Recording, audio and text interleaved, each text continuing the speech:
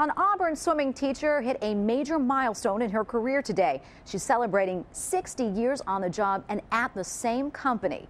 News 8's Jackie Couture joins us now with a closer look tonight at her incredible story, and it really is amazing, Jackie. It is, Tracy. Pauline Bourgoin is 77 years old and still at it. Tonight, surrounded by her family, friends, and coworkers, she was celebrated.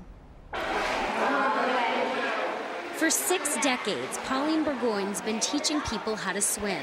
60 years arriving to work at the same place, the pool at the Auburn Lewiston YMCA. There are some mornings you get up and you just don't want to go to work. Well, I don't have that feeling. Whenever I go to work, I'm enjoying it and I feel good.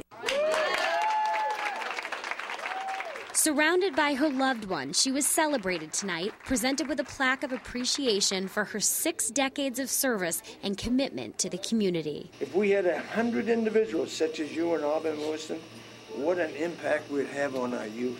Over the years, she's taught thousands. Since I had mothers, their children, and their grandchildren. Every age group, but now she specializes in preschool age kids. It doesn't take very long. They love it. They really do. They start off by not wanting to come in and then they don't want to leave. And Pauline doesn't want to leave either. In great shape at 77, she says she'll teach until they give her a pink slip.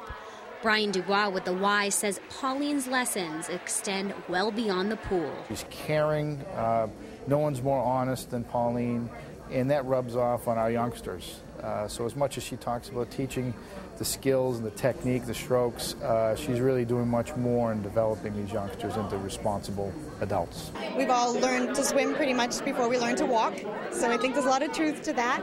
Oh, I can kiss her. She's a wife, a mother of six, grandmother of 16, and great grandmother of 10. And yes, Pauline taught them all how to swim, and they are so proud to stand by her side. She's a very special woman. We love her to death. She is special, amazing. Pauline just recently scaled back to just three days a week, but again has no plans to retire anytime soon. In the studio, Jackie Couture, News 8 Trace.